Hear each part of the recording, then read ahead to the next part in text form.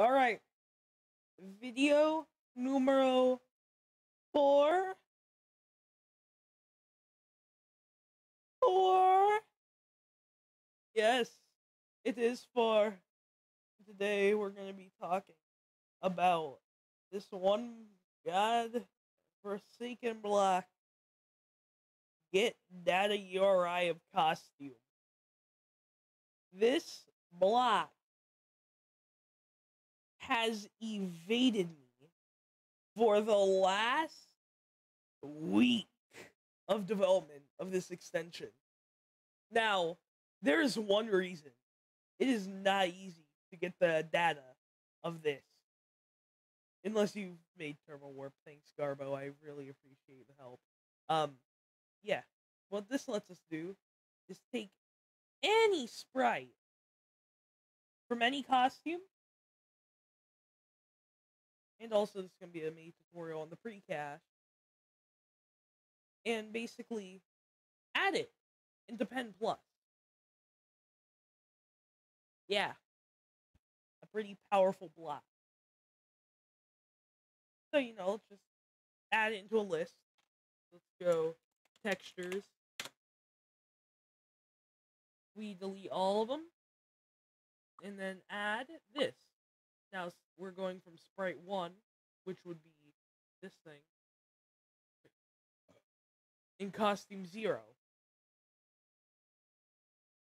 Now, costume 0 would be 1. So, if you just want a more I I actually might do something about this on release. I'm not sure. You'll have to look in the description. But actually, you're just gonna have to put in the actual costume number.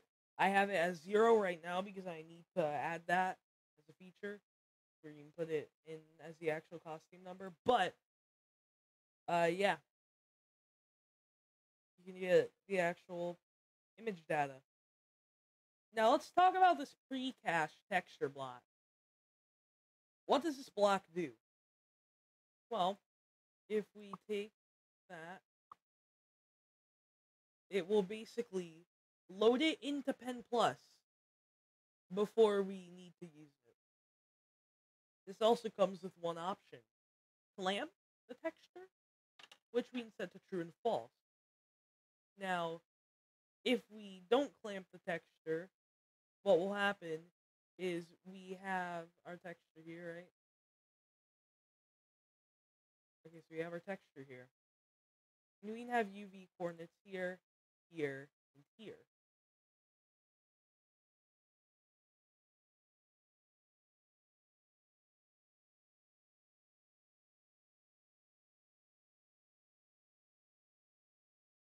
Now, if it wasn't clamped, it would just loop. But when clamped, it basically just stretches this part of the texture out to where we need it. Now, for some reason, some textures, I don't know why this happens, but some require it to be clamped to render. I, I'm not sure. But yeah, we are do this. Oh, not space. Uh, when flag is clicked, let's just stamp something at our mouse. So stamp the image, and let's stamp our image forever. And then let's have, or let's convert mouse X and mouse Y to canvas coordinate.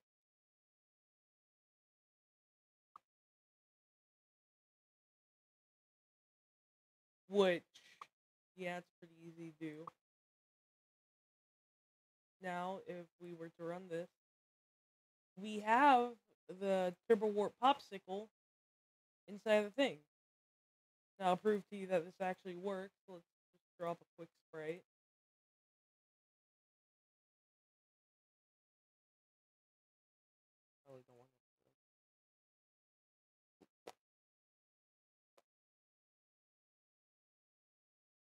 Brand new sprite right there. Go here. Boom. It's rendering. Well, that should be the tutorial. Um, I will release another tutorial soon. Maybe right after this one. Talking about how we can compile these projects into our well, into a HTML file. Or package them onto a website. I hope you all enjoyed this video or and or tutorial. See you next time.